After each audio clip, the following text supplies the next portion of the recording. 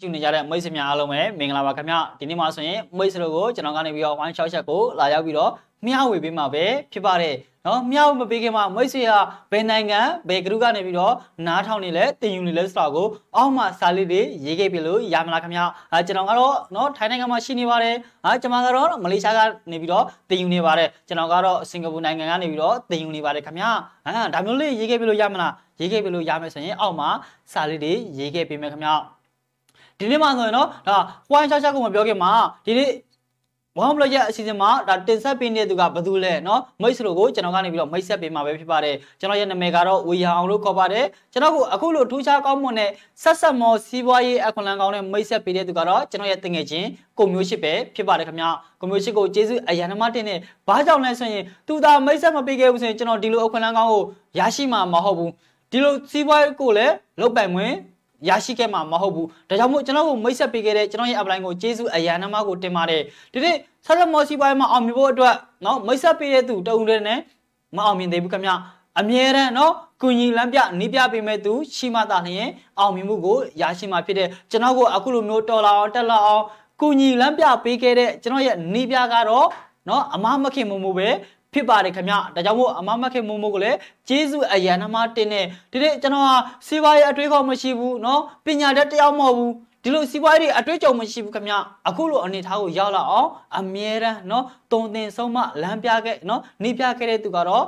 ဒါအမမခင်မိုးမိုးဖြစ်တယ်ခင်ဗျဒါကြောင့်မို့ကျေးဇူးအရန်နှမကိုတင်ပါတယ်ခင်ဗျဘယ်လိုရှိရင်เนาะဒီနေ့ကျွန်တော်ကဆိုရင်ဝိုင်းချာချာကိုလာရောက်ပြီးတော့เนาะပြောပြပေးမှဖြစ်တဲ့နံပါတ်1ဝိုင်းမှာဆိုရင်ဝိုင်း enjoy ဖြစ်တဲ့ မမီဘာကြောင့်အောင်မြင်ချင်တာလဲကိုသိရမယ်ခင်ဗျနံပါတ်2မှာဆိုရင် why business ဘာကြောင့်ကိုပိုင်စီးပွားရေးကိုလောက်ကင်တင်တာလဲကိုကိုယ်တိုင်သိရမယ်ခင်ဗျနော်နံပါတ်3မှာဆိုရင် why ကျွန်တော်တို့ network ဘာကြောင့် network marketing ကိုလောက်ကင်တင်တာလဲနံပါတ်4ဆိုရင် why ဆက်ဆက်မောဘာကြောင့်ဆက်ဆက်မောစီးပွားရေးကိုရွေးချယ်ပြီးတော့လောက်ကင်တင်တာလဲနံပါတ်5ဆိုရင် why system ဘာကြောင့်နီးစနစ်ကြီးတင်တာလဲ နံပါတ်6ဆိုရင်တော့ဒါ why နော်နှောင်းပေါ့ဘာကြောင့်အမြန်ဆုံးလောက်ကင်တင်တာလဲဆိုတော့နော်ဝိုင်းရှောက်မျိုးပဲဖြစ်ပါတယ်ဒါကြောင့်မို့နံပါတ်1ဝိုင်း enjoy မှာဆိုရင်ကျွန်တော်ဆိုရင်လက်ရှိထိုင်းနိုင်ငံမှာနေတယ်ခင်ဗျမြန်မာပြည်ဆိုရင်တော့ပဲခူးတိုင်းဖြူမျိုးကဖြစ်တယ်နော်ဖြူမျိုးနဲ့ကြောက်တိုင်ရွာကဖြစ်တယ်ဒီနေ့အမေဆိုလို့ကြီးရှုနေတဲ့သူတွေဖြူမျိုးတွေကသူတွေပါလားခင်ဗျပါလဲဆိုရင်အောက်မှာစာလေးတွေရေးသွားပေးလို့ရတယ်ခင်ဗျเนาะကျွန်တော်ကတော့เนาะဖြူမျိုးမှာနေပါတယ်ဘယ်ရွာမှာကျွန်မကတော့ဖြူမျိုးမှာနေပါတယ်ဘယ်ရွာကဖြစ်ပါတယ်ချင်းရေးသွားလို့ရတယ်ခင်ဗျဒီနေ့ မြန်မာနိုင်ငံကနေပြီးတော့ကျွန်တော်ထိုင်းနိုင်ငံကိုတက်လာတဲ့ရည်ရွယ်ချက်ကကျွန်တော်ဟာအောင်မြင်ခြင်းနဲ့ခင်ဗျကျွန်တော်မှငွေအရင်းနှီးမရှိဘူးကျွန်တော်ဟာချမ်းသာခြင်းနဲ့သူတယောက်ဖြစ်တယ်အဲ့လိုချမ်းသာဖို့အတွက်เนาะမြန်မာပြည်မှာအလုပ်ကိုင်းနေရှားပါတယ်အခွင့်အလမ်းတွေရှားပါတယ်ခင်ဗျဒါကြောင့်မို့ကျွန်တော်ထိုင်းနိုင်ငံမှာစ조사မယ်ဆိုပြီးတော့တက်လာခဲ့တယ်နှစ်နှစ်နှစ်လောက်ပဲနေပြီဆိုပြီးတော့ကျွန်တော်တက်လာခဲ့တာဖြစ်တယ်ဒါပေမဲ့ကျွန်တော်၃နှစ်ကြာသွားခဲ့တယ်ကျွန်တော်ရဲ့ဘဝဟာဘာမှပြောင်းလဲမှုမရှိခဲ့ဘူးကျွန်တော်စ조사တယ်เนาะနေမလားညမလားစ조사တယ်၃နှစ် ဘဝဟာပြောင်းလဲမှုမရရှိခဲ့ခင်ဗျအဲ့ဒီချိန်မှာကျွန်တော်တွေးကြည့်တယ်ငါလိုချင်တဲ့အရာတွေဖြစ်ဖို့အတွက်ကိုဖြစ်ရှင်တဲ့ဘဝတစ်ခုကိုပိုင်ဆိုင်နိုင်ဖို့အတွက်ဒီအတိုင်းဆိုရင်တော့ဘယ်လိုနည်းနဲ့မှမပိုင်ဆိုင်နိုင်ဘူးခင်ဗျဒါကြောင့်မို့ကျွန်တော်တိတက်များများရမယ့်အလုပ်တွေနော်ဝင်ငွေများများရမယ့်အလုပ်တွေအခွင့်အလမ်းကောင်းတွေကိုခြာဖွေမယ်ဆိုပြီးတော့ကျွန်တော်ပို့ပြီးတော့မှခြာဖွေခဲ့တယ်ခင်ဗျဒီနေ့အဲ့လိုရှာဖွေနေချိန်မှာဆိုရင်တငယ်ချင်းကွန်မြူရှစ်ကနေပြီးတော့ မိတ်ဆက်ပေးခဲ့တဲ့ဆက်ဆက်မော်စီပွားရေးနဲ့ယုံလားမေးကျွန်တော်မယုံဘူး။ဘာကြောင့်လဲဒီလိုစီပွားရေးဆိုတာကျွန်တော်လည်းကြာဘူးနားရှိတယ်။အဲ့ဒါပါလဲဆိုရင်ကျွန်တော်တို့ကလားလူခေါ်ရတဲ့ဇီအောင်ရတယ်။အဲတကယ်ချင်းနေပြောတာကြာဘူးတဲ့ခင်ဗျ။ဒါပေမဲ့အတွင်းကြကြမလေးလာဘူး။မယုံကြည်ဘူးခင်ဗျတကယ်ချင်းကလာပြီးမိတ်ဆက်တဲ့အချိန်မှာမယုံကြည်ပေမဲ့ကိုဟာအခွန်လန်းကောင်းတစ်ခုကိုရှာဖွေနေတဲ့အချိန်မှာမိတ်ဆက်ပေးတာဖြစ်လို့သူပေးတဲ့အခွန်လန်းကဘာများဖြစ်နေမလဲ။ပုစံနဲ့ကုန်စရာမလိုဘူးဆိုပြီးတော့ကျွန်တော်ဝင်ရောက်ပြီးတော့ဟလာ လေးလာကြည့်ခဲ့တယ်ခင်ဗျလေးလာကြည့်တဲ့အချိန်မှာဆိုရင်ကျွန်တော်လိုချင်တဲ့အခွင့်အလမ်းကိုတွေးခဲ့တယ်အဲ့ဒါဘာလဲဆိုရင်ကျွန်တော်တို့စူးစမ်းရင်စူးစမ်းလို့ဝင်ဝင်ရအကန့်အသတ်မရှိပေးမယ်ဆိုတဲ့အချက်လေးပဲဖြစ်တယ်မွေးစလို့လိုချင်လားခင်ဗျစူးစမ်းရင်စူးစမ်းတော့ဝင်ဝင်ရအကန့်အသတ်မရှိပေးတာလူတိုင်းလိုချင်တယ်ဟာအလုပ်တွေမှာတော့မှနော်ပုတ်ပြက်တွေလောက်ကြတယ်နော်ပုတ်ပြက်တွေလောက်ကြတယ်ဗါတယ်နှစ်ယောက်စားတွေသုံးယောက်စားတွေလောက်ပြီးတော့စူးစမ်းကြတယ်ဒီနေ့ဆက်သက်မော်စီပါမှာနှစ်ယောက်စားသုံးယောက်စားမဟုတ်ခင်ဗျဘွားတစ်ခုလုံးကိုပြောင်းလဲပေးနိုင်တဲ့ ဝင်ငွေတွေပေးတာဖြစ်လို့ကျွန်တော်နားထောင်ပြီးတဲ့အချိန်မှာသဘောကျလို့ဆက်သက်မော်စီဝိုင်းကိုရွေးချယ်ပြီးတော့ကျွန်တော်လောက်ကင်လိုက်တယ်ခင်ဗျဒီနေ့အဲ့လိုမျိုးလောက်ကင်တဲ့အချိန်မှာဆိုရင်အခက်အခဲတွေအများကြီးပဲကြုံရတယ်နော်အခက်အခဲတွေအများကြီးကြုံရတယ်နော်အတိုက်ခိုက်တွေအများကြီးပဲရှိတယ်ကျွန်တော်ဒါပေမဲ့စိတ်ထဲမကြောက်ဘာကြောင့်လဲဆိုလို့ရှိရင်ကျွန်တော်ကအောင်မြင်ခြင်းနဲ့ဘယ်သူအတွက်အောင်မြင်ခြင်းတာလဲဆိုတော့ကျွန်တော်ရဲ့မိဘနှစ်ပါးအတွက်အောင်မြင်ခြင်းတာဖြစ်လို့ကျွန်တော်အတိုက်ခိုက်တွေရှိလဲကျွန်တော်နောက်မဆုတ်ဘူး အခက်အခဲတွေရှိခဲ့လဲကျွန်တော်နောက်မဆုတ်ဘူးနောက်ဆုတ်ခဲ့ရင်ကျွန်တော်မိဘတွေကိုပြည့်ပြည့်စုံစုံထားနိုင်မှာမဟုတ်ခင်ဗျာဒါကြောင့်မိဘတွေကိုပြည့်ပြည့်စုံစုံချမ်းချမ်းသာသာထားနိုင်ဖို့အတွက်ဒီအတိုက်ခိုက်တွေဒီအတားအဆီးတွေကိုကြော်ဖြတ်နိုင်မှရမယ်ဆိုတဲ့စိတ်ဓာတ်နဲ့ကျွန်တော်ကကြော်ဖြတ်ခဲ့တာပဲဖြစ်တယ်အထူးကကျွန်တော်ပြောကြော်ဖြတ်ခဲ့တဲ့အကြောင်းရင်းကမိဘတွေရဲ့မျက်နှာကိုမြင်ရောက်တိုင်းငါနောက်ဆုတ်လို့မရဘူးဆိုတဲ့နော်အတွေးနဲ့ကျွန်တော်ကြော်ဖြတ်ခဲ့တာဖြစ်တယ်ဒါဆိုရင်မိတ်ဆွေတို့အောင်မြင်တာကဘယ်သူအတွက်လဲ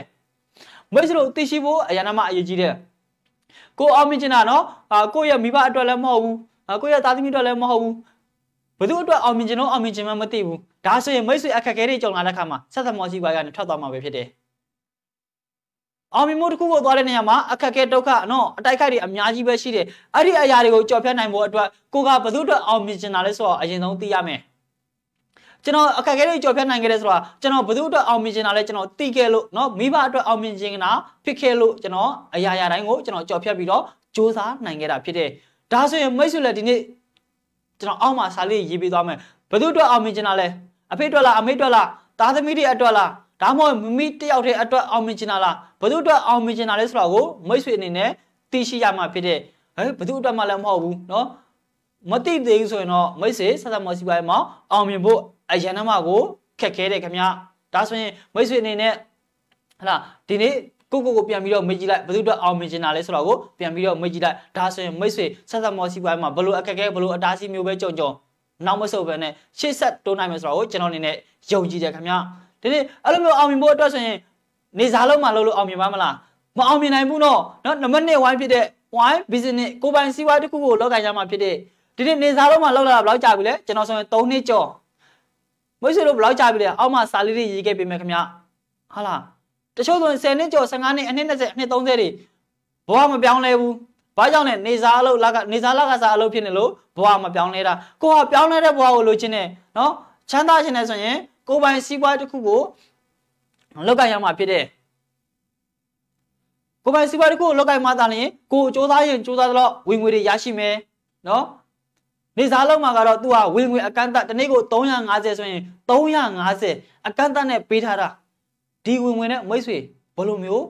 ပြောင်းလဲရှမ်းတာမလဲခင်ဗျမဖြစ်နိုင်ဘူးเนาะဒါကြောင့်မို့မိတ်ဆွေကကိုစူးစမ်းရင်စူးစမ်းတော့ရမယ်เนาะကိုပိုင်စီးပွားတစ်ခုကိုလောက်ကင်မှသာလျင်မိတ်ဆွေရဲ့ဘဝဟာပြောင်းလဲမှာပဲဖြစ်တယ်ချမ်းသာမှာပဲဖြစ်တယ်အဲ့လိုမျိုးကိုပိုင်စီးပွားကိုတစ်ခုเนาะကိုပိုင်စီးပွားတစ်ခုလောက်တဲ့နေရာမှာဆိုရင်လည်းမိတ်ဆွေနေရာမှန်ရွေးချယ်တဲ့ဖို့အရေးကြီးတယ် နေရာမှားနေမှဆိုရင်ဘလောက်ပဲစူးစမ်းစူးစမ်းအောင်မြင်မှာမဟုတ်ဘူးလို့နေစားလောက်ကကောင်းလာမင်းကောင်းတယ်ခင်ဗျဒါပေမဲ့ဘဝကိုမပြောင်းလဲဘူးအဲ့ဒီကကောင်းမွန်တဲ့နေရာတွေအများကြီးပဲရှိတယ်မိတ်ဆွေတွေနဲ့နေရာမှန်ကိုရှာဖွေနိုင်ဖို့အရေးကြီးတယ်နေရာမှန်မှာကြိုးစားမှဆိုရင်မိတ်ဆွေအစိမ့်နဲ့နဲ့အောင်မြင်မှုကိုလျင်မြန်စွာရရှိမယ်မြင်မြန်ဆန်ဆန်ကိုရှိတဲ့မိဘတွေစီကိုပြန်နိုင်မယ်ခင်ဗျအောင်မြင်မှုနော်ဟိုနေရာမှန်မှန်တဲ့နေရာမှာကြိုးစားနေမှဆိုရင်အချိန်နေတာကြာသွားမယ်မိတ်ဆွေရဲ့ဘဝက ပြောင်းလဲတိုးတက်မှုရှိတာမှမဟုတ်ဘူးဒါကြောင့်မို့နေရာမှန်ဖို့လည်းအရန်မှအရေးကြီးတယ်ကြိုးစားတိုင်းတော့အောင်မြင်မယ်ဆိုရင်မိတ်ဆွေရဲ့နော်ဟာကျွန်တော်တို့ရဲ့နော်မိဘနော်ဘိုးဘွားလက်ထက်ကကြိုးစားနေတဲ့တောင်သူဦးကြီးတွေနော်ကျွန်တော်နော်အဖိုးပွားဆိုလဲတောင်သူလောက်တာပဲဒါပေမဲ့တို့တွေဘာကြောင့်မချမ်းသာကြလဲဘာကြောင့်မအောင်မြင်ကြလဲဟုတ်တယ်မလားနေရာမှန်မှန်လို့ဖြစ်တဲ့ ဒီနေ့ခေတ်ကြီးမှာဆိုရင်မိတ်ဆွေတို့နဲ့နေရာမှန်ကိုကျွန်တော်တို့ရွေးချယ်ပြီးတော့လောက်ကင်မယ်ဆိုရင်အချိန်တို့တွင်းမှာပဲမိတ်ဆွေအောင်မြင်မှုတစ်ခုကိုရရှိမှာပဲဖြစ်တဲ့အဲ့လိုနေရာမှန်မှဆိုရင်ဘလို့နော်ဘလို့နေရာတွေကိုရွေးချယ်ရမလဲနော်ဘာတွေလောက်ကင်တင်လဲကိုပိုင်စီးပွားတစ်ခုလောက်ကင်မှုဆိုရင်တေးကြတဲ့ငွေအရင်ကြီးရှိရမယ်အတွေ့အကြုံတွေအများကြီးရှိရမယ်ကို့မှာငွေအတွေ့အာငွေအရင်ကြီးလည်းအများကြီးမရှိဘူးအတွေ့အကြုံလည်းမရှိဘူးကိုပိုင်စီးပွားတစ်ခုလုပ်ဖို့အတွက်နော် စီးပွားရေးအတွေ့အခေါ်လည်းမရှိဘူးဆိုရင်ဘာတွေလုပ်ရမလဲဆိုရင်မိတ်ဆွေအနေနဲ့ network marketing เนาะနံပါတ်3 wine ဖြစ်တဲ့ wine network network marketing ကိုရွေးချယ်ပြီးတော့လုပ်ကိုင်ရမှာဖြစ်တဲ့ဒီ network marketing မှာဆိုရင်မိတ်ဆွေတို့အနေနဲ့ကိုပညာမတတ်လို့เนาะစီးပွားရေးအတွေ့အခေါ်မရှိလို့အတွေ့အကြုံမရှိလို့အားငယ်စရာမလိုဘူးစိတ်ဓာတ်ကျစရာမလိုဘူး network တစ်ခုရှိတယ်ခင်ဗျအသင်းဖွဲ့ကြီးတစ်ခုရှိတယ်ဒီနေ့အဲ့ဒီအသင်းဖွဲ့ကြီးကနေပြီးတော့ကိုတွေကိုအောင်မြင်အောင်ကူညီလမ်းပြပြီးတော့ အောင်မြင်မှုပန်းတိုင်းကိုရောက်တဲ့အထိလက်တွဲခေါ်မှာပဲဖြစ်တယ်အများစုက network marketing လို့ပြောလိုက်တာ ਨੇ မကြိုက်ဘူးလူခေါ်ရတယ်ဈေးရောင်းရတယ်ဒါကတော့သူတို့သိထားတဲ့အတွေးခေါ်ပေါ့ဒီနေ့ကိုကိုတိုင်းနော်လေးလာကြည့်မှဆိုရင် network marketing ဘယ်လောက်ထိကောင်းမလဲဆိုတော့ကိုသိရှိရမှာပဲဖြစ်တယ်အစားကနော်ကျွန်တော်လည်းကြိုက်လိုက်ဆိုရင်မကြိုက်ဘူးမကြိုက်ပြီးမှကျွန်တော်ဘာကြောင့်ဆက်သမောရှိပါကိုရွေးချယ်ပြီးတော့လောက်ကင်ကလည်းဆိုရင်ဒီနေ့ကျွန်တော် စီးပွားရေးအတွေးခေါ်မရှိဘူးဒါပေမဲ့တွေးခေါ်တတ်တဲ့သူတွေကကျွန်တော်ကိုလက်တွဲခေါ်တယ်ကျွန်တော်ကပညာရည်ချင်းအများကြီးမရှိဘူးเนาะပညာရည်ချင်းရှိတဲ့သူတွေကကျွန်တော်တို့လက်တွဲပြီးတော့ခေါ်တယ်အမြဲတမ်းကုညီလမ်းပြပေးပြီးတော့အောင်မြူပန်းတိုင်းကိုရောက်တဲ့အထိလက်တွဲခေါ်နေတဲ့အဖွဲ့အစည်း network တစ်ခုရှိတာပဲဖြစ်တယ်အပြင်မှာကိုအပြင်မှာကိုစီးပွားရေးတစ်ခုเนาะတယောက်တည်းလုပ်မှဆိုရင်အတွေ့အကြုံမရှိရင်သိကြတယ်မိတ်ဆွေလုပ်တဲ့စီးပွားရှုံးပြီခင်ဗျကိုရသားဒီဇိုင်းဖွင့်နေဆိုပါစို့เนาะကိုရသားဒီဇိုင်းဖွင့်နေမိတ်ဆွေထုံးဆက်နေမသိဘူး ဘေးနားကကိုရသားမှာထုံးဆက်နေသွားပြီးတော့မေးမယ်သိကြတယ်ပြောပြမယ်လို့မိတ်ဆွေထင်လားမပြောပြဘူးသူ့ရဲ့ထုံးစံနည်းပညာကိုသိသွားရင်သူ့ရဲ့ဆိုင်မှာရောင်းမကောင်းမနဲ့မိတ်ဆွေရဲ့ဆိုင်မှာဖောက်တဲ့တွေများသွားမှဆိုလို့လုံးဝမပေးဘူးခင်ဗျဒီနေ့ဆက်လက်မော်စီပွားမှာအဲ့လိုမျိုးမရှိဘူးเนาะကိုသိတဲ့ပညာတွေကိုအကုန်လုံးတခုမကြံเนาะအဖွဲ့အစည်းကနေပြီးတော့သိကိုသူတို့သိတယ်လို့မျိုးကိုကိုသိလာအောင်အကုန်လုံးပြန်လဲပြီးတော့တင်ပြပေးတယ်မျှဝေပေးတယ်ဒါအဖွဲ့အစည်းကောင်းတစ်ခုဖြစ်တယ် မိတ်ဆွေတို့အနေနဲ့ဒီလိုအဖွဲ့အစည်းနဲ့လက်တွဲပြီးတော့စ조사မယ်ဆိုရင်အောင်မြင်မှုကိုသွားတဲ့နေရာမှာရေရှည်အောင်မြင်မှုကိုရရှိနိုင်တယ်ဘာကြောင့်လဲဆိုရင်ဒီနေ့မိတ်ဆွေတယောက်တည်းလောက်ပြီးတော့ရတဲ့တယောက်စာနဲ့เนาะအများအသင်းဖွဲ့နဲ့လောက်ပြီးတော့เนาะအဖွဲ့အစည်းနဲ့လောက်ပြီးတော့ရတဲ့เนาะပတ်စံเนาะဝင်ငွေဘယ်လိုပတ်စံကပို့ပြီးတော့မှမိတ်ဆွေတက်များများဆက်သားရမလဲများများဆန်ဆန်ရမလဲဒီနေ့အဖွဲ့အစည်းနဲ့အလုံးမဆိုရင်အဖွဲ့အစည်းရဲ့အင်အားနဲ့အလုံးလောက်ပြီးတော့เนาะ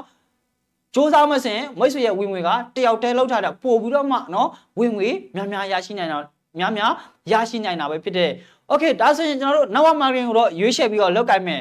ရွေးချယ်တဲ့မှာမှာ network marketing ကုမ္ပဏီတွေအများကြီးပဲရှိတယ်ခင်ဗျထိုင်းနိုင်ငံမှာဆိုရင်လည်းဘယ်ကုမ္ပဏီကိုမိတ်ဆွေအနေနဲ့ရွေးချယ်ပြီးတော့လုပ်ကိုင်ခြင်းလဲနော်ကောင်းမွန်တဲ့ကုမ္ပဏီနော်ရွေးချယ်နိုင်ဖို့မိတ်ဆွေတို့အနေနဲ့အရန်နမကိုအရေးကြီးတဲ့ခင်ဗျကျွန်တော်ဆက်သက်မောကျွန်တော်ဘာကြောင့်နော် ဆက်သက်မောစီးပွားရေးကိုရွေးချယ်ပြီးတော့လုပ်ကိုင်လဲဆိုရင်ကျွန်တော်ရွေးချယ်ပြီးတော့လုပ်ကိုင်ရတဲ့အချက်၄ချက်ရှိပါတယ်ခင်ဗျအချက်၄ချက်ရှိတယ်အဲ့ဒါကတော့ကျွန်တော်နံပါတ်1နော်ရည်မှန်းချက်ချီခြင်းပဲဖြစ်တဲ့ညီမချက်နဲ့ပန်းနိုင်ရှိခြင်းပဲကျွန်တော်ထိုင်းနိုင်ငံကိုရောက်နော်မြန်မာပြည်ကနေပြီးတော့ထိုင်းနိုင်ငံကိုလာတဲ့အချိန်တုန်းကဆိုကျွန်တော်မှညီမချက်တပွေးတစ်ပိုင်းနဲ့ဖြစ်တယ်ကိုယ့်ရဲ့မိဘတွေကိုအိမ်ကောင်းကောင်းနော်ထားခြင်းနဲ့ကားကောင်းကောင်းတွေနဲ့ထားခြင်းနဲ့အဲ့ဒီညီမချက်တွေနဲ့ကျွန်တော်တက်လာခဲ့တယ် ထိုင်းမှာရောက်လာတဲ့ခါမှာအချိန်လေးနည်းနည်းကြာလာတဲ့ခါမှာကိုယ့်ရဲ့ညီမချက်တွေပျောက်သွားခဲ့တယ်ခင်ဗျငါတငယ်ချင်းတွေနဲ့နော်ပျော်ပါတောက်စားကိုယ့်ရဲ့ညီမချက်တွေပျောက်သွားခဲ့တယ်အဲ့ဒီအချိန်မှာကျွန်တော်ဆက်သက်မော်စီပွားကိုတငယ်ချင်းကနေပြီးတော့နော်ကွန်မြူရှစ်ကနေမိတ်ဆက်ပေးတဲ့အချိန်မှာတငယ်ချင်းကပြန်လဲပြီးမိတ်ဆက်ပေးတဲ့အချိန်မှာကျွန်တော်ရီမန်းချက်တွေပြန်လဲပြီးတော့တွေ့ရှိခဲ့တယ်ဟဲ့ငါထိုင်းနိုင်ငံကိုတက်လာတော့မှဘာတွေဖြစ်ရှင်လို့တက်လာလဲကိုယ့်ရဲ့ရီမန်းချက်တွေကိုကိုပြန်ပြီးတော့မှ အစားကနေကိုပြန်ပြီးတော့ဆွဲထုတ်လာတယ်ခင်ဗျဒီနေ့လူအများစုမရှိဘူးလားနားထောင်နေသူတွေမှရှိလားခင်ဗျဒီနေ့အာမိဘကိုနော်အိမ်ကောင်းကောင်းကားကောင်းကောင်းနဲ့ထားခြင်းနဲ့ပြောပြီးတော့ထိုင်းနိုင်ငံကိုရောက်ပြီးတော့ပတ်စံနဲ့ဗျာမှမပိုးနိုင်တဲ့သူတွေဘာမှမလုပ်ပေးနိုင်တဲ့သူတွေပါလားခင်ဗျချိတယ်နော်တချို့ဆိုရင်ဟာလားကိုယ့်ရဲ့ရီမန်းချက်တွေပျောက်သွားတာကိုဖြစ်ရှင်တဲ့အရာတွေကိုလှုပ်ဖို့အတွက်ရီမန်းချက်တွေပျောက်သွားတယ်အချိန်တွေကိုတန်ဖိုးမထားတတ်တော့ဘူးနော်ဘဝကိုဖြစ်သလိုပဲကျွန်တော်တို့ဖြတ်တန်းသွားနေတဲ့သူတွေအများကြီးပဲရှိတယ် ကျွန်တော်ဆက်သက်မောစီပွားရေးကိုရောက်လာတဲ့ခါမှာကျွန်တော်ရဲ့နော်ပျောက်ပျောက်ဆုံးနေတဲ့ရီမန်းချက်တွေကိုပြန်လည်ပြီးတော့အကောင့်တွေပေါ်နိုင်ဖို့အတွက်လမ်းစာတွေပြန်ပြီးတော့ရရှိခဲ့တယ်ပြီးရင်ပန်းနိုင်ဟောဒီနေ့အောင်မြင်မှုတစ်ခုကိုသွားတဲ့နေရာမှာပန်းနိုင်နဲ့ရှိရမယ်ကိုယ့်ရဲ့ရီမန်းချက်နဲ့ပန်းနိုင်နဲ့နော်အတူတူတွဲပြီးတော့လောက်ဆောင်မှဆိုရင်အောင်မြင်အောင်မြင်မယ်ဆိုတော့ကျွန်တော်အနေနဲ့ယုံကြည်လို့နံပါတ်1ဖြစ်တဲ့နော်ဆက်သမောစီပွားရေးကိုရွေးချယ်ပြီးတော့ကျွန်တော်လုတ်ကင်ခဲ့တာဖြစ်တယ်နောက်ထပ်ရွေးချယ်ရတဲ့နံပါတ်2ကတော့နိစနစ်အမှန်ကန်သွားရှိခြင်း နိစနစ်မှန်ကန်တဲ့ခင်ဗျနော်ဒီနေ့ဆက်သမောစီပွားရေးမှာဆိုရင်နိစနစ်ကကုမ္ပဏီပိုင်ရှင်ကိုယ်တိုင်ကရှာမှတ်ထားတဲ့နိစနစ်တွေဖြစ်တယ်ဒီစနစ်မကောင်းဆိုရင်မွေးစလို့ကျွန်တော်တို့အောင်မြင်ဖို့အတွက်အရန်နမကိုခက်ခဲလိမ့်မယ်။အာတချို့တွေနော်ကုမ္ပဏီတည်ထောင်နေအာနိစနစ်တွေမှန်မှန်မကန်တဲ့နိစနစ်တွေရှိတယ်။ဒီနေ့ဆက်သက်မော်စီပိုင်းမှာဆိုရင်နိစနစ်ကလောင်းဝမှန်ကန်တယ်ခင်ဗျ။ဟလာလှုပ်ဝထားတာတွေမရှိဘူးလက်ညာထားလည်းမရှိဘူးနိစနစ်ကမှန်မှန်ကန်ကန်နဲ့ရှိတာဖြစ်တဲ့အတွက် နော်ကျွန်တော်တို့တာမန်သူတွေလည်းအောင်မြင်လို့ရတယ်အတွေ့အကြုံရှိတဲ့သူတွေလည်းအောင်မြင်လို့ရတာဖြစ်လို့နံပါတ်1အချက်ကိုဒါကြိုက်လို့ရွေးချယ်ပြီးတော့လောက်ကင်တာပဲဖြစ်တဲ့တေချာတဲ့နေစနစ်မှန်မှန်ကောင်းစဉ်အောင်မြင်ဖို့အတွက်ကျွန်တော်တို့အချိန်နေတာကြာသွားမယ်နော်နှစ်တေတာကြာသွားမယ်အောင်မြင်ဖို့အတွက်အရန်နာမှာပဲခက်ခဲနေအောင်မှာဖြစ်တဲ့ဒါကြောင့်မို့နေစနစ်မှန်ကန်ဖို့လည်းအရန်နာမှာကိုအရေးကြီးတဲ့နောက်တစ်နံပါတ်3ရွေးချယ်ရတဲ့နော်အချက်ကတော့လူဦးရေပေါ့အောင်မြင်သူနော်အများစွာချီချင်းပေါ့အောင်မြင်သူများသောချီချင်း ဒီနေ့ဆက်သက်မောစီပွားရေးမှာဆိုရင်အောင်မြင်ပြီးတော့နေစားလကစားအလုပ်ကနေပြီးတော့ဟာလွတ်မြောက်သွားတဲ့သူတွေအများကြီးပဲရှိပါတယ်ခင်ဗျာတခြားစီးပွားရေးတွေမှာရှိလာမင်းကျွန်တော်တို့ဟလာတယောက်နှစ်ယောက်ဒါတော့မှသူတို့တွေကိုမေးကြည့်လိုက်နှစ်နဲ့ရှိနေပြီအလုပ်လုပ်တာအများကြီးမရှိခင်ဗျဆက်သက်မောစီပွားရေးမှာဆိုရင်အောင်မြင်ပြီးတော့နော်နေစားလကစားအလုပ်ကထွက်ပြီးတော့တလားကိုဝင်ဝင်1000 2000 3000 4000 5000တိန်ကနန်းတန်းကနန်းထိရရှိနေတဲ့အောင်မြင်သူများစွာရှိခြင်းကြောင့် ကျွန်တော်ရွေးချယ်ပြီးတော့လောက်ကင်ရခြင်းပဲဖြစ်တယ်မွေးစရိုအနေနဲ့ရွေးချယ်တတ်ဖို့အရာနာမအရေးကြီးတယ်မွေးစရိုနော်လုံးမစီးပွားရေးမှာကျွန်တော်တို့ရီမန်းချက်လည်းမရှိဘူးနော်နေစနစ်လည်းမမှန်ကန်ဘူးအောင်မြင်သူလည်းမရှိဘူးဆိုရင်မွေးဆွေရောအောင်မြင်နိုင်မှာမလားမအောင်မြင်နိုင်ဘူးတော့ဒီနေ့ဆက်သက်မောစီးပွားရေးမှာအောင်မြင်သူများစွာရှိတာဖြစ်တဲ့အတွက်မွေးဆွေလည်းသူတို့စ조사ခဲ့တဲ့အတိုင်းစ조사မယ်နေစနစ်ကိုအသုံးချပြီးတော့ လှုပ်ဆောင်မယ်ဆိုရင်မွေးစရိုအနေနဲ့လည်းသူတို့အောင်မြင်တယ်လို့အောင်မြင်မှုကိုရရှိနေရရှိမှာပဲဖြစ်တယ်ဒါဆိုရင်မိတ်ဆွေလုံးမဲ့စီးပွားရေးမှာဒီလိုအချက်အလက်တွေနော်ရှိမရှိစစ်ဆေးဖို့အရာနမကိုအရေးကြီးတယ်ခင်ဗျနောက်ထပ်နံပါတ်နော်ရွေးချယ်ရတဲ့နံပါတ်၄မှာဆိုရင်အောင်မြင်မှုကိုလှည့်မြန်စွာရရှိပြီးတော့ view ဟာတွေချီခြင်းကျွန်တော်တို့ဆက်သက်မောစီးပွားရေးမှာဆိုရင်အောင်မြင်မှုကိုလှည့်မြန်စွာရရှိဖို့အတွက်နော် national ကောင်းတွေရှိတယ်ကျွန်တော်တို့ view ဟာကောင်းတွေရှိတယ်ခင်ဗျ တနှစ်တလားနဲ့တလားနော် viewer တွေမတူဘူးတနှစ်နဲ့တနှစ် viewer တွေမတူဘူးခင်ဗျကျွန်တော်တို့ကုမ္ပဏီပိုင်ရှင်ရဆိုရင်ဒီနေ့ဟိုအောင်မြင်မှုကိုရေရှည်သွားနိုင်ဖို့အတွက် viewer အသစ်စားနေအများကြီးပဲရှိတယ်ခင်ဗျဒီ viewer တွေကိုကျွန်တော်တို့နော်ကုမ္ပဏီပိုင်ရှင်ကနော်ချမှတ်တဲ့ viewer တွေကိုကျွန်တော်တို့အနေနဲ့လက်တွေ့ပြန်လည်ပြီးတော့လွှတ်ဆောင်မယ်ဆိုရင်အောင်မြင်မှုကိုလင့်မြန်သွားရရှိမှာပဲဖြစ်တယ်တခြားသောစီးပွားရေးတွေမှာဆိုရင်ကျွန်တော်တို့ viewer မရှိဘူးနော်အောင်မြင်မှုကိုသွားတဲ့နေရာမှာတချို့ဆို3လနှစ်ရှိသွားပြီ ဝင်ငွေရမေးကြည့်ရင်5 9000လောက်5 9000လောက်ထပ်မတက်ဘူးခင်ဗျနေစားလို့ကတော့မထွက်နိုင်ဘူးစသမောစီပွားရေးမှာအရှိန်နော်အနှဲငယ်အတွင်းမှာလာအနှဲငယ်အတွင်းမှာねအောင်မြင်မှုတစ်ခုကိုရရှိပြီးတော့နေစားအလုပ်ကလွတ်မြောက်သွားတဲ့သူတွေအများကြီးပဲရှိတယ်အောင်မြင်မှုကိုလင့်မြန်သွားရရှိသွားတာပေါ့အဲ့ဒါဘာကြောင့်လဲဆိုရင်နိစနစ်မှန်ကန်လို့ကျွန်တော်တို့ view ဟာကောင်းနေရှိလို့အောင်မြင်မှုကိုလင့်မြန်သွားရရှိသွားကြတာပဲဖြစ်တယ်ဒါဆိုရင်မိတ်ဆွေလုံးမစီးပွားရေးမှာဒီလိုအချက်လက်တွေရှိမရှိစစ်ဆေးဖို့အရင်ကမှအရေးကြီးတယ် မွေးဆွေလောက်လာတဲ့စီးပွားရေးကဒီလိုအရှက်လက်တွေမရှိဘူးဆိုရင်တော့ဟဲ့မွေးဆွေအောင်မြင်ဖို့အတွက်ကတော့အရန်နမကိုခက်ခဲနေပြီဘလောက်ပဲစူးစမ်းစူးစမ်းမွေးဆွေအောင်မြင်မှုတစ်ခုကိုရရှိဖို့အရန်နမကိုခက်ခဲနေပြီခင်ဗျဆက်သက်မမရှိတယ်ခင်ဗျအများကြီးဟလာချာဖွေနေကြရမလို့ဒီနားထောင်နေသူတွေအားလုံးအနေနဲ့နော်တကယ်စစ်မှန်တဲ့နေရာကိုရွေးချယ်ခြင်းနဲ့အောင်မြင်မှုကိုလင့်မြန်သွားရရှိခြင်းနဲ့ဆိုရင်တော့ကျွန်တော်တို့ဆက်သက်မရှိပါဘူးကိုကျွန်တော်တို့ရွေးချယ်ပြီးတော့လုပ်ကြရမှာဖြစ်တဲ့ နောက်ထပ်နံပါတ်5ဆိုရင်ဒါနံပါတ်5 why ဖြစ်တဲ့ why system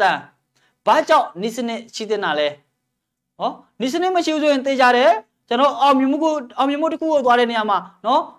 တော်တဲ့သူတွေအောင်မြင်မယ်တက်တဲ့သူတွေအောင်မြင်မယ်ကျွန်တော်တို့တို့နော်စီးပွားရေးအတွေ့အကြုံမရှိတဲ့သူတွေနော်ပညာအရေးချင်းနေပါတဲ့သူတွေဆိုရင်အောင်မြင်ဖို့အရာနမကိုခက်ခဲသွားလိမ့်မယ်ဒီနေ့ဆက်သမောစီးပွားရေးမှာကနိစနစ်ကောင်းရှိလို့နော်တာမန်သူတွေကနော်ပညာအရေးချင်းနေတဲ့သူတွေကနော် ဒီလိုစီးပွားရေးအတွေးခေါမရှိတဲ့သူတွေကလူတိုင်းအောင်မြင်တာပဲဖြစ်တယ်ဒါဆိုရင်မွေးဆွေကအောင်မြင်ခြင်းနဲ့ဒါပေမဲ့စီးပွားရေးအတွေးခေါမရှိဘူးเนาะအတွေ့အကြုံမရှိဘူးပညာအရေးချင်းနဲ့အများကြီးမရှိဘူးဆိုရင်မွေးဆွေအနေနဲ့ဘာရှိဖို့လိုအပ်တယ်နိစနစ်ကောင်းနေရှိဖို့အရန်မလိုအပ်တယ်ဆက်ဆက်မမရှိတယ်ခင်ဗျနိစနစ်เนาะနိစနစ်တွေရှိတယ်ခင်ဗျမွေးဆွေအနေနဲ့ဒီနိစနစ်ရှိတဲ့စီးပွားရေးမှာမွေးဆွေရဲ့စူးစမ်းမှုနဲ့လက်တွဲလိုက်မှဆိုရင် မိတ်ဆွေလည်းအောင်မြင်မှုတစ်ခုကိုရရှိမှာပဲဖြစ်တယ်။တခြားသောစီးပွားရေးမှာဆိုရင်ကျွန်တော်တို့နိစနစ်မရှိဘူး။ကုမ္ပဏီပိုင်ရှင်ကပတ်စံရှိလို့ကုမ္ပဏီတစ်လုံးထောင်လိုက်တယ်။နိစနစ်မရှိဘူး။နိစနစ်မရှိတဲ့ကုမ္ပဏီကရေရှည်အောင်မြင်မှုကိုသွားနိုင်ပါမလား။ရေရှည်သွားနိုင်ပါမလား။မသွားနိုင်ဘူး။တခြားသောဟလားမိတ်ဆွေတို့ကြားဘူးမှာပါ။ဟာပေါ်လာပြီးပြန်ပြန်ပြီးတော့ပျောက်သွားတာ။ပေါ်လာတယ်ခဏပဲနော်ပြီးပြန်ပျောက်သွားတာတလားနလားနော်လေးကားလားနေပြန်ပြီးတော့ပျောက်သွားတဲ့ကုမ္ပဏီမိတ်ဆွေတို့မြင်ဘူးလားခင်ဗျာ။ အဲအဲ့ဒါနေစနစ်မရှိလို့ရေရှည်အောင်ရေရှည်မသွားနိုင်တာဖြစ်တယ်ဆက်သမောစီးပွားရေးမှာရေရှည်သွားနိုင်ရတဲ့အကြောင်းရင်းကနေစနစ်ကောင်းနေရှိလို့နေစနစ်ကောင်းရှိမှဆိုရင်ဥပမာနေစနစ်ဆိုတာနော်တော်တဲ့သူကမတော်တဲ့သူကနော်တာမန်သူကမိသူမဆိုဒီနေစနစ်အတိုင်းလှုပ်ဆောင်ရင်အောင်မြင်ရမယ်ဆိုတဲ့နော်အချက်နော်ဖြစ်တယ်မိတ်ဆွေအနေနဲ့ဟာအတွေ့အကြုံမရှိဘူးဆိုရင်အောင်မြင်ဖို့ခက်ခဲနေပြီဥပမာကျွန်တော်ပြောပြပေးမယ်ဟင်း ချက်တယ်လို့မျိုးပေါ့ဟင်းတအုပ်ချက်မှဆိုရင်အဲ့ဒီဟင်းထဲမှာဆိုရင်ကျွန်တော်ချုံမော့တစ်စုံထည့်ရမယ်ဟာစားတစ်စုံထည့်ရမယ်နော်စနမုံတစ်စုံထည့်ရမယ်စားသည့်အဖြစ်ပေါ့ထည့်ရမယ့်အရာလေးတွေကိုသူ့ရဲ့ skill လေးနဲ့နော်စနစ်တကျလေးထည့်မယ်ဆိုရင်နောက်ထပ်သူရှက်မယ်ဆိုရင်လည်းအဲ့ဒီအတိုင်းနဲ့ထည့်မယ်ဆိုရင်အဲ့ဒီဟင်ဟာကျွန်တော်တို့စားရတာအရသာကောင်းမွန်မှုကိုရရှိမှာဖြစ်တဲ့ဟာပထမရှက်တဲ့သူကြတော့ဆိုတော့စားကိုနှစ်စုံထည့်မယ်နောက်ရှက်တဲ့သူကြတော့စားကိုတစ်စုံထည့်မယ်တယောက်နဲ့တယောက်တော့စနစ်တကျမဟုတ်ဘူးဆိုရင်မမှန်ကန်ဘူးဆိုရင် ဟောတာအောင်မြင်ဖို့အတွက်နော်အရန်မှခက်ခဲတယ်လို့မျိုးဒီဟင်းကွက်ကလည်းအရသာကဘလို့နီးနဲ့မှတူနိုင်မှာမဟုတ်တော့ဘူးဟုတ်တယ်မလားဒါဆိုရင်တူဖို့အတွက်နော်တူညီမှုရှိဖို့အတွက်နော်နေ့စနစ်ဟလားအတိုင်းအသုံးချပြီးတော့အောင်မြင်မှုတစ်ခုကိုရရှိဖို့ဆိုရင်နေ့စနစ်ရှိတဲ့ကုမ္ပဏီကိုမိတ်ဆွေတို့အနေနဲ့ရွေးချယ်ပြီးတော့လောက်ကန်ရမှာပဲဖြစ်တဲ့ဒါကြောင့်မို့မိတ်ဆွေတို့ကဆိုရင်တကယ်နေ့စနစ်ရှိတဲ့ကုမ္ပဏီကဆိုရင်ဆက်ဆက်မော်စီပိုင်းမှာကောင်းမွန်တဲ့နေ့စနစ်တွေရှိတယ် ဒီနေ့စနစ်ကိုပဲအသုံးချပြီးတော့အောင်မြင်သွားတဲ့မြန်မာပြည်သားကောင်းဆောင်တွေဆိုလည်းအများကြီးပဲရှိပါတယ်နော်ကျွန်တော်လေးစားကြရတဲ့နော်လီတာကြီးကိုဆမ်းမင်းတို့နော်လီတာကြီးကိုမင်းကျော်ဦးတို့နော်လီတာကြီးအဲ့ဒါမတ်ဆူလိုက်ဝင်းတို့ဒီနေ့ကျွန်တော်တို့ဒါလေးစားအားကြရတဲ့ခေါင်းဆောင်ကြီးတွေဖြစ်တဲ့ခင်ဗျဒီနေ့စနစ်ကိုပဲအသုံးချပြီးတော့နော်အောင်မြင်သွားကြတာဖြစ်တဲ့သူတို့တွေကိုနော်ကြီးလိုက်တဲ့အခါမှာဒီလိုစီးပွားရေးအတွေ့အကြုံတွေမရှိဘူးပညာအရေးရှင်တွေအများကြီးမှကျွန်တော်တို့အဲ့ဒါ မရှိကြဘူးနေစားလကစားအလောက်ကနေပြီးတော့ထိုင်းနိုင်ငံမှာနေပြီးတော့ဆက်သက်မော်စီပွားရေးမှာနော်3နှစ်ကျော်4နှစ်ဆိုတဲ့အချိန်တိုင်းတာလေးမှာကြီးကြီးမားသောအောင်မြင်မှုတစ်ခုကိုရရှိနေတာပဲဖြစ်တဲ့အဲ့ဒါဘာကြောင့်လဲဆိုရင်နီးစနစ်ကောင်းမွန်လို့ဖြစ်တဲ့ဒါဆိုရင်တို့တော့ဒီအတိုင်းလှုပ်ဆောင်လို့နော်ဒီနီးစနစ်တိုင်းလှုပ်ဆောင်လို့အောင်မြင်ခဲ့တဲ့ဆိုရင်မိတ်ဆွေတို့အနေနဲ့လည်းဒီနီးစနစ်တိုင်းလှုပ်ဆောင်မစင်တို့လိုမျိုးပဲအောင်မြင်မှုရရှိမှာဖြစ်တဲ့အဲ့ဒီနီးစနစ်တိုင်းမှာဆိုရင်မိတ်ဆွေတို့နော်ဒါ SN လေးဖြစ်တဲ့ SN လေး3556ဖြစ်တဲ့၃ချက်ကိုသင်ယူရမယ်နော် ၃ချက်သင်ယူအဲ၃ချက်စတင်၄ချက်သင်ယူ၃ချက်စတင်၄ချက်တင်ယူ၅ချက်၆ပွေ၆ချက်တော့ခေါင်းဆောင်ကောင်းတွေပဲဖြစ်တဲ့၃ချက်စတင်မှာဆိုရင်မိတ်ဆွေတို့နော်ဘာတွေကိုစတင်ရမလဲမိတ်ဆွေအနေနဲ့သိရမှာပဲဖြစ်တဲ့၄ချက်တင်ယူ၄ချက်တင်ယူခြင်းမှာဆိုရင်ဘာတွေကိုတင်ယူရမှာလဲသိရှိဖို့အရန်မှအရေးကြီးတဲ့၄ချက်တင်ယူခြင်းမှာဆိုရင်ကျွန်တော်တို့နော်ကုမ္ပဏီနဲ့ကုမ္ပဏီပစ္စည်းတွေအကြောင်းကိုတင်ယူရမယ်နော်နံပါတ်2မှာဆိုရင်ဈေးကွက်ပလန်ကိုတင်ယူရမယ်နံပါတ်3ဆိုရင်ဒါကျွန်တော်လက်ရှိအခုပြောနေတဲ့ နော် point ရှောက်ရှက်ကိုအာတင်ယူရမယ်ပြီးလို့ရှိရင်ကျွန်တော်တို့ဒါအမေးအဖြေတွေကိုမိတ်ဆွေတို့အနေနဲ့တင်ယူရမှာဖြစ်တယ်ဒီလေးချက်ကိုမိတ်ဆွေတို့အနေနဲ့မတင်ယူဘူးဆိုရင်ဆက်သမောရှိပိုင်းမှာအောင်မြင်ဖို့နော်ခက်ခဲနေအောင်မှာဖြစ်တယ်မိတ်ဆွေအနေနဲ့မိတ်ဆွေအနေနဲ့ဒီလေးချက်ကိုတင်ရမယ်ငါးချက်ရှာဖွေမှာဆိုရင်ဘာတွေကိုရှာဖွေရမှာလဲခြောက်ချက်တော့ခေါင်းဆောင်ခေါင်းဆိုရင်ခေါင်းဆောင်တယောက်အနေနဲ့ဘာတွေကိုလှုပ်ဆောင်ရမှာလဲ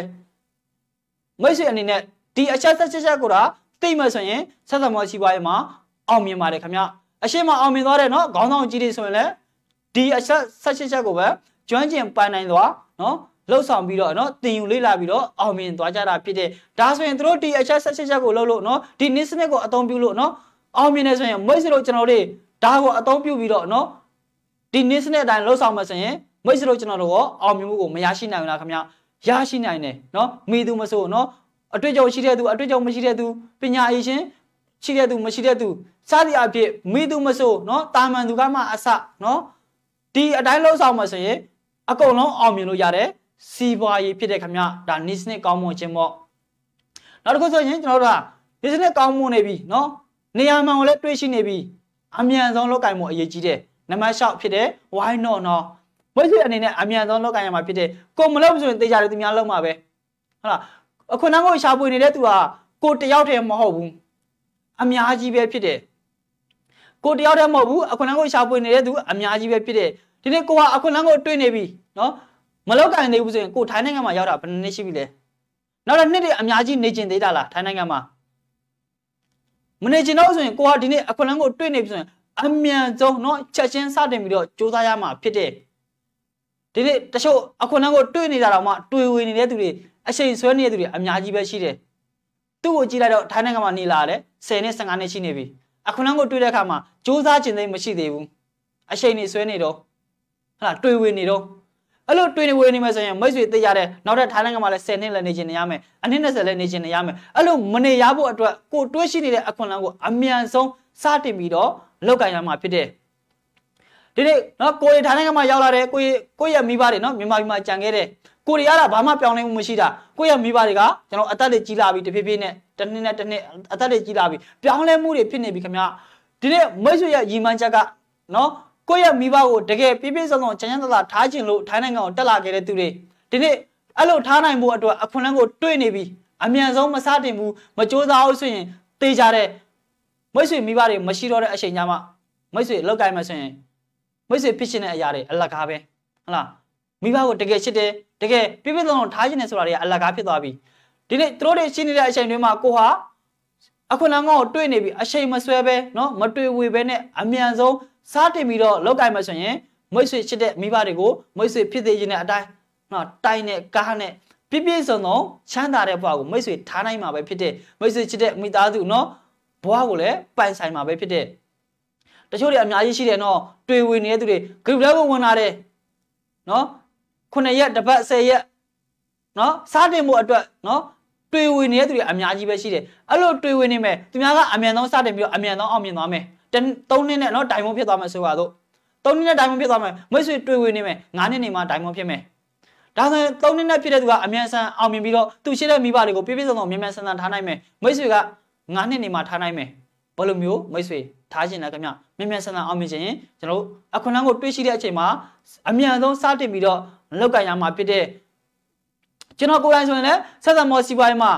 တခါပဲလေ့လာပြီးတော့ချက်ချင်းစတင်ပြီးတော့လောက်ကန်တာဖြစ်တဲ့ပထမအဆုံးနားထောင်လိုက်တဲ့ကုမ္ပဏီအကြောင်းပစ္စည်းအကြောင်းနော်ဈေးကွက်ပလန်အကြောင်းကိုကျွန်တော်နားထောင်ပြီးတဲ့အချိန်မှာပဲကျွန်တော်300ဘတ်နဲ့အသင်းဝင်ပြီးတော့ကျွန်တော်စတင်ပြီးတော့လောက်ကန်ခဲ့တာပဲဖြစ်တဲ့အဲ့လိုစတင်ပြီးတော့ကျွန်တော်လောက်ကန်ခဲ့လို့ဒီနေ့နော်အောင်မြင်မှုကိုမြန်မြန်ဆန်ဆန်ရရှိခဲ့တဲ့ ကျွန်တော်နဲ့အတူတူနော်လေ့လာခဲ့တဲ့သူတွေတွေ့ဝင်နေတယ်နော်အသိဝင်ဖို့အတွက်တွေ့ဝင်နေတယ်စားတင်ဖို့အတွက်ကြောက်နေတဲ့သူတွေနော်ရှယ်ယာဝင်ဖို့အတွက်နော်တွေ့ဝင်ပြီးတော့ကြောက်နေတဲ့သူတွေအတွက်သူတို့တွေအောင်မြင်မှုကိုမရရှိဘူးခင်ဗျဒီနေ့ဒီချိန်ဒီနေစားလာကစားအလုံးမှာပဲရှိနေတော့မယ်ဒါကြောင့်မို့ကိုကအခွန်လမ်းကိုတွေ့တဲ့အခါမှာအမိရဆောက်ကန်ပြီးတော့အမြန်ဆုံးစတင်ပြီးတော့စ조사လောက်ကန်မယ်ဆိုရင်အောင်မြင်မှုကိုလည်းလျင်မြန်သွားရရှိမှာပဲဖြစ်တယ်မိတ်ဆွေချစ်တဲ့မိဘတွေကိုလည်းနော်တကယ် သူတို့လိုချင်တဲ့အရာမှန်သမျှကိုလုပ်ပေးနိုင်မှာဖြစ်တဲ့ကိုအနေနဲ့ဟလာအခွင့်အလမ်းကိုတွေးနေပြီးတော့တွေးဝေနေမယ်เนาะစားတင်ရမှာကြောက်နေမယ်ဆိုရင်တော့အောင်မြင်ခြင်းလို့မရဘူးဟုတ်လားစားတင်မှုမရှိဘဲနဲ့အောင်မြင်မှုဆိုတာရှိမလားခင်ဗျဒီနေ့အောင်မြင်တဲ့သူတွေအားလုံးကလည်းစားတင်ခဲ့လို့နော်အောင်မြင်ခဲ့ကြတာဖြစ်တဲ့ဒါဆိုရင်မိတ်ဆွေလည်းအောင်မြင်ခြင်းနဲ့ဆိုရင်စားတင်ရမှာမကြောက်နဲ့ခင်ဗျနော်အမြန်ဆုံးဒီနေ့နော်ကြည့်ရှုနေတဲ့သူတွေအားလုံးပဲဒီနေ့ကိုကအခွင့်အလမ်းကောင်းကိုရရှိနေပြီ စားတင်ရမယ်ဆိုရင်အောင်မြင်မှုကိုမြန်မြန်ဆန်ဆန်ရရှိမယ်ဆိုရင်မလိုချင်ဘူးလားအောင်မြင်မှုလူတိုင်းကအောင်မြင်မှုကိုလိုချင်တယ်လူတိုင်းကအောင်မြင်မှုကိုကြိုက်တယ်ဟုတ်လားစားတင်တဲ့အချက်မှာကျွန်တော်တွေးဝေနေမယ်ကြောက်ရွံ့နေမယ်ဆိုရင်တော့အောင်မြင်မှုကိုရရှိမှာမဟုတ်ဘူးတကယ်အောင်မြင်ခြင်းနဲ့ဆိုရင်ကျွန်တော်စားတင်ရမှာကိုကြောက်ဖို့မလိုခင်ဗျကျွန်တော်ဆိုရင်နော်အတွေ့အကြုံမရှိဘူးပညာမတတ်ဘူးဒါပေမဲ့ကိုမလောက်တတ်ဘူးစားတင်ရမှာမကြောက်ခဲ့ဘူးခင်ဗျကျွန်တော်300ပန်းနဲ့စားတင်ပြီးတော့နော်စီးပွားရေးရှယ်ယာဝင်တမတယောက်ဖြစ်အောင်ကျွန်တော် တလားအတွင်းမှာပဲစူးစမ်းပြီးတော့ exactly ရှယ်ယာဝင်ဖြစ်ပြီးတော့ကျွန်တော်စားတင်ခဲ့တာဖြစ်တယ်အဲ့လိုစားတင်ခဲ့လို့နော်စားတင်ရမှာမကြောက်ခဲ့လို့ဒီနေ့အောင်မြင်မှုဆိုတာကိုရရှိခဲ့တာဖြစ်တယ်ဒါကြောင့်မိတ်ဆွေတို့အနေနဲ့နော်အောင်မြင်မှုကိုတကယ်လိုချင်တဲ့အောင်မြင်မှုကိုတကယ်ကြိုက်တဲ့ဆိုရင်စားတင်ရမှာလည်းမကြောက်နဲ့ခင်ဗျမတွေ့ဝေနဲ့ဒါဆိုရင်မိတ်ဆွေအနေနဲ့ဆက်သမောစီးပွားရေးမှာနော်အောင်မြင်တဲ့သူတယောက်ဖြစ်မယ်ဆိုတော့ကျွန်တော်အနေနဲ့ယုံကြည်တယ်ဒါကြောင့်မို့မိတ်ဆွေတို့အနေနဲ့ဒီဝိုင်း6ရှာဆိုရင်သိထားရမှာဖြစ်တဲ့ ဒီဝိုင်း6ချက်ကိုမသိတော့ဆိုရင်မိတ်ဆွေတို့အနေနဲ့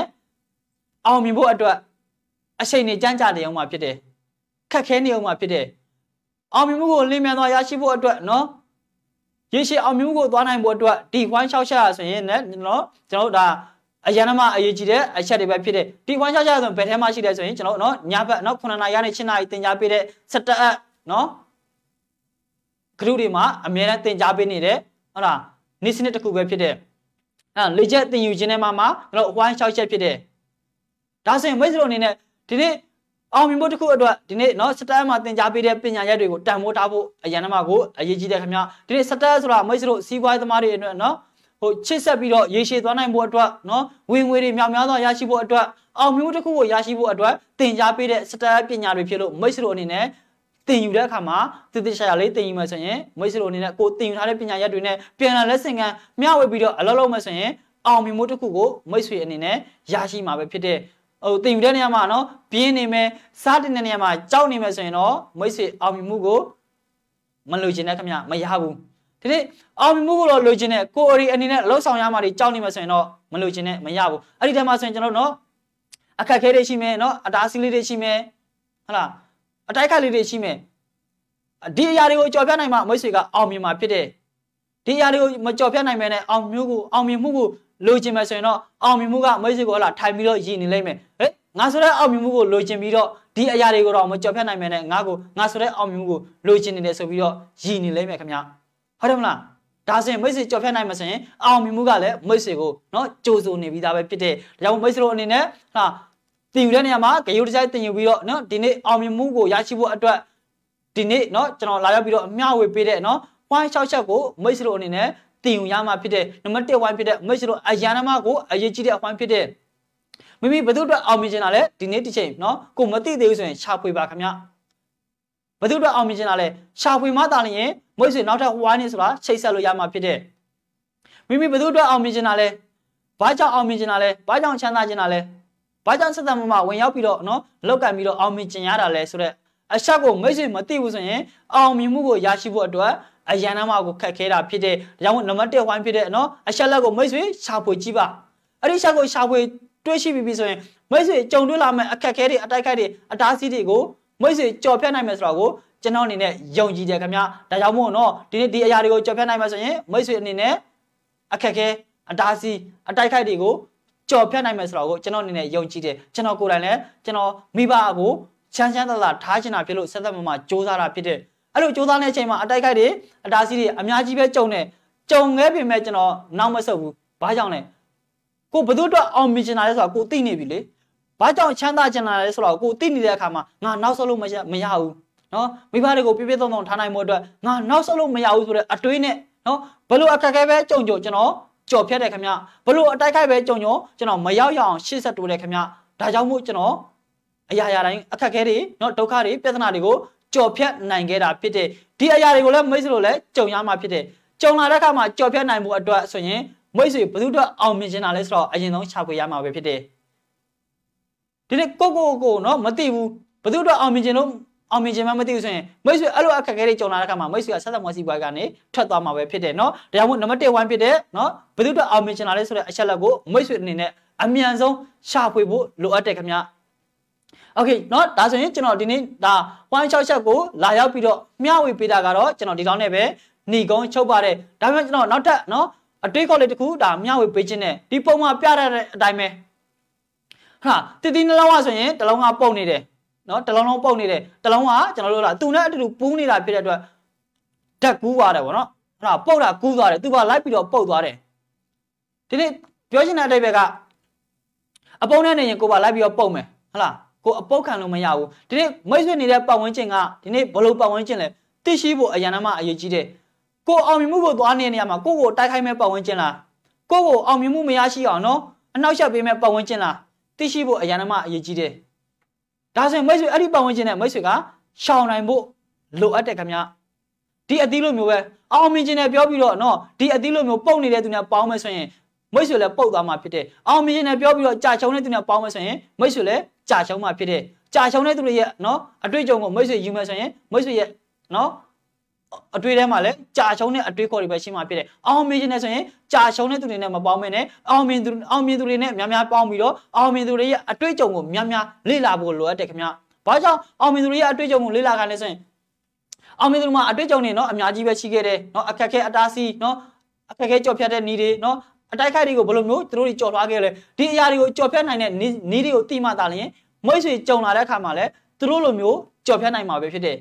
အောင်မြင်တာကိုထိုင်ပြီးတော့အားကြနေမယ်သူတို့တွေဘလို့စူးစမ်းခဲ့လဲ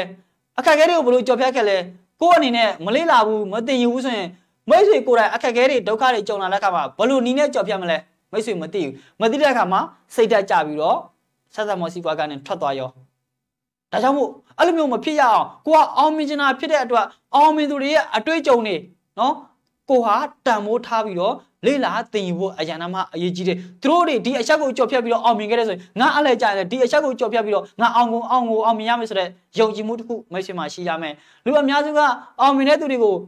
အလွယ်တကူနဲ့အောင်မြင်တယ်လို့မျိုးပဲနော်ထိုင်ပြီးတော့အားကြနေကြတယ်နော်သူတို့တွေဘယ်လိုမျိုးကြော်ဖြတ်ခဲ့လဲဆိုတော့မသိယူကြဘူးမလေးလာကြဘူး အာအောင်မြင်သူတွေကိုထိုင်ပြီးတော့အားကြတယ်သူတို့တွေမအောင်မြင်ကဘာတွေလှုပ်ဆောင်ခဲ့လဲနော်ဘလို့တွေတင်ယူခဲ့လဲဘလို့တွေစူးစမ်းခဲ့လဲဘလို့အတိုက်ခိုက်ဘလို့အတားဆီးတွေကိုကြော်ဖြတ်ပြီးတော့အောင်မြင်ခဲ့လဲဆိုတော့ကိုမလေးလာဘူးအောင်မြင်တာကိုပဲထိုင်ပြီးတော့အားကြတယ်ဒါဆိုရင်တော့မိတ်ဆွေအောင်မြင်ဖို့အတွက်အရန်မခက်ခဲတယ်သူတို့အောင်မြင်သူတွေအောင်မြင်တာတွေကိုနော်အားကြနေတာထက်အောင်မြင်သူတွေရဲ့အတွေ့အကြုံတွေကိုမိတ်ဆွေတို့နဲ့တန်မိုးထားပြီးတော့ဂယုတစိုက်လေးလာသိမ်းမှဆိုရင်မိတ်ဆွေကြုံတွေ့လာမဲ့နော်အရာတွေတိုင်းမှာလည်းအအရာရာကိုကျွန်တော်တို့လာလွယ်လွယ်လေးတကူ နော်ဖြည့်ရှင်းပြီးတော့ကြော်ဖြတ်နိုင်မယ်ဆိုတော့ကိုကျွန်တော်အနေနဲ့ယုံကြည်တာပဲဖြစ်တဲ့အောင်မြင်ခြင်းနဲ့ဆိုရင်အောင်မြင်သူတွေရဲ့နော်အတွေ့အကြုံကိုတန်မိုးထားပါလို့ကျွန်တော်အနေနဲ့ပြောကြရင်းနဲ့เนาะဒီနေ့เนาะလာရောက်ပြီးတော့မျှဝေပေးတဲ့เนาะဒါအစီအစဉ်လေးကတော့ဒီတောင်းဒီတောင်းနဲ့ပဲหนีကုန်းချုပ်ပါတဲ့နောက်ထပ်နောက်ထပ်เนาะအပတ်တွေမှာဆိုရင်လည်းကျွန်တော်ထက်တော်တဲ့ခေါင်းဆောင်တွေကနေပြီးတော့လာရောက်ပြီးတော့မျှဝေပေးအောင်မှဖြစ်လို့မိတ်ဆွေတို့အနေနဲ့လည်းနောက်အပတ်တွေမှာလည်း အခုလိုမျိုးပဲเนาะလူဦးရေမများလေးနဲ့ပါဝင်ပူးပေါင်းပေးဖို့အတွက်ကျွန်တော်အနေနဲ့ဖိတ်ခေါ်ပါတယ်ခင်ဗျโอเคပါเนาะဒါဆိုရင်ဒီနေ့ကျွန်တော်လာရောက်ပြီးတော့မျှဝေပေးတဲ့ point 6ချက်ကတော့ဒီတောင်းနဲ့ပဲหนีကုန်းချုပ်ပါတယ်ခင်ဗျမင်္ဂလာရှိသောနေ့ကလေးပါခင်ဗျမင်္ဂလာပါခင်ဗျ